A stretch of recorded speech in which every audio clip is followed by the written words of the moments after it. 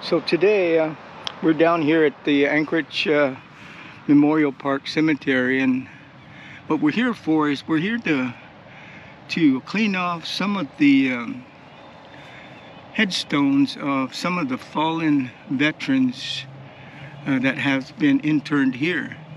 And it's just a small token of our appreciation for the sacrifice they've made to secure our freedom here. So you know, it's always a, a good thing to honor uh, veterans, both living and past. So anyway, um, let me uh, turn this around and kind of give you a view of the cemetery itself.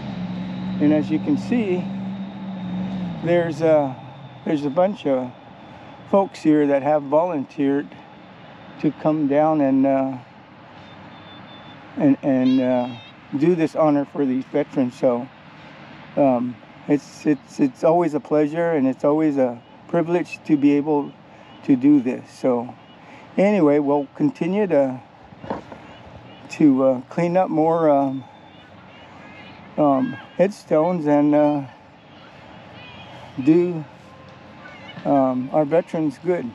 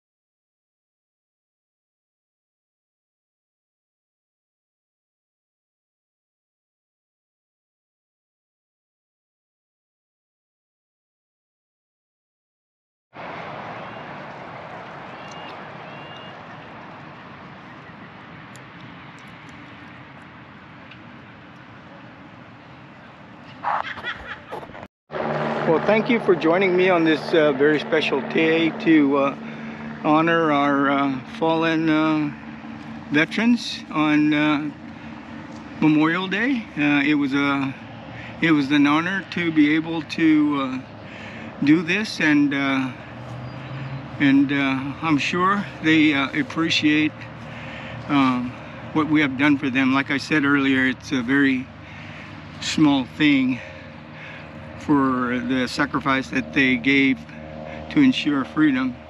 And uh, we are truly truly thankful. So anyway thank you for watching and I hope you uh, found this uh, film enjoyable and uh, we will see you in the next video